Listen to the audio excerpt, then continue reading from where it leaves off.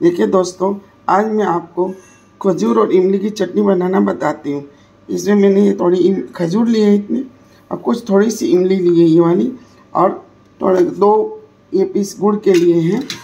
करीबन करीबन सौ ग्राम के आसपास गुड़ है। मैं इनको अच्छे से धो के पानी में भिगो दी दो तीन घंटे के लिए, इमली और खजूर दोनों को। अब इन दोनों को मैं बॉयल करूँगी कुकर में दो तीन सीटी लगा के तो जल्दी से हम लोग इनको छान सकते हैं। इसलिए में सॉफ्ट हो जाएँगे एकदम। देखिए दोस्तों, आज मैं आपको इमली की चटनी बनाना बताती हूँ, कैसे बनाती हूँ मैं। थोड़ा खजूर लिया है थोड़ी सी मैं इमली ली हूँ और गुड़ ली हूँ। इन सबको मैं पहले गुड़ और खजूर खजूर और इमली को अच्छे से वॉश किया और भिगो के इनको दो तीन घंटे के लिए मैंने रख दिया। अब इनको मैं कुकर में सीटी लगाऊँगी और फिर बाद में मैं गुड़ डाल के इनको बॉयल करूँगी वापस। कुकर में सीटी लगाने के बाद ठंडी करके इसको छानना हमें। अच्छे से छान के फिर इसे इसमें गुड़ डाल के हमें बॉयल करना है। ये देखिए दोस्तों, ये कुकर में मैंने सीटी लगाई और इस तरह से बॉयल होकर तैयार हो गई इमली और खजूर। इनको मैंने बॉयल किया। अब ये ठंडा हो गया ना, अब इसको मैं छान लेती हूँ। छानने के लिए मैं ये वाली नेट यूज़ करी हूँ, जो मैं फांसे के शरबत में भी आप लोग को बताई हूँ। तो इससे क्या बहुत इजी रहता है छानने में।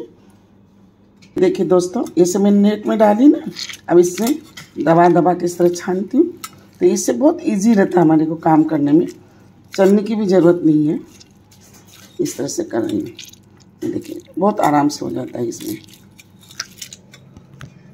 ये देखिए दोस्तों, मैंने इमली को चलने उससे छान के अब गैस पे चढ़ा दी। इसको अच्छे से बॉयल करूँगी। इसके अंदर में एक टेबल स्पून अदरक का रस भी डाल देती हूँ। ये मैंने अदरक का रस डाला है। और जो मैंने गुड़ को छाना बॉयल करके, ये देखिए, इस तरह से गुड़ को छान के मैंने तैयार किया क्योंकि जो भी कचरा होता है ना, वो निकल जाता है, इसीलिए। अब मैं इसको भी इसी में डाल देती हूँ। देखिए, गुड़।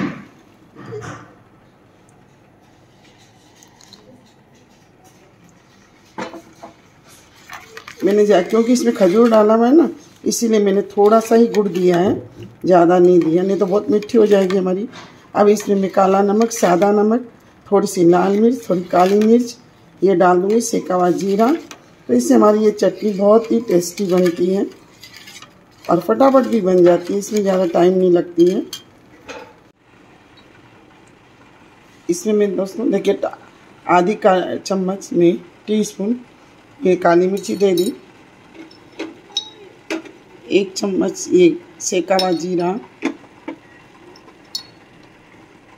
पौन चम्मच में ये काला नमक, स्वाद अनुसार सादा नमक भी दे देती हूँ। ये सादा, स्वाद अनुसार में थोड़ा ये सादा नमक भी दे दी।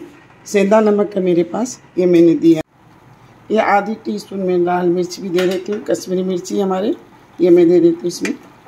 अब इसे अच्छे से 10-15 मिनट में गैस पे इसको अच्छे से खोलाऊँगी।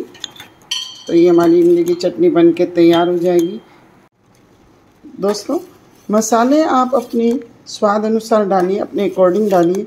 सबके घर में किसी के तेज़ खाते हैं, किसी के कम खाते हैं, उसी के अनुसार डालिए आप। मेरे वीडियोज़ आपको पसंद आए सब्सक्राइब ज़रूर करें। बेल आइकन दबाना ना भूलें लाइक ज़रूर करें। कमेंट बॉक्स में कमेंट करें। ये देखिए मेरी ये इमली की चटनी। खजूर और इमली की बन के तैयार हो गई है। ये ठंडी होने के बाद और गाढ़ी हो जाएगी। इसे मैं 10 से 15 मिनट और सिजाई हूँ। क्योंकि हम बोतल भर के रख देंगे, बाहर भी तो भी ख़राब नहीं होगी, फ्रीज में भी रखेंगे तो महीनों ही नहीं ख़राब होती है। ये हमारी बन के तैयार होगी इमली की चटनी तैयार हो गई। मैं बोतल में इस तरह भर के इसको रख दूँगी फ्रीज में। बाहर भी रख सकते हैं हम, फ्रीज में भी रख सकते हैं।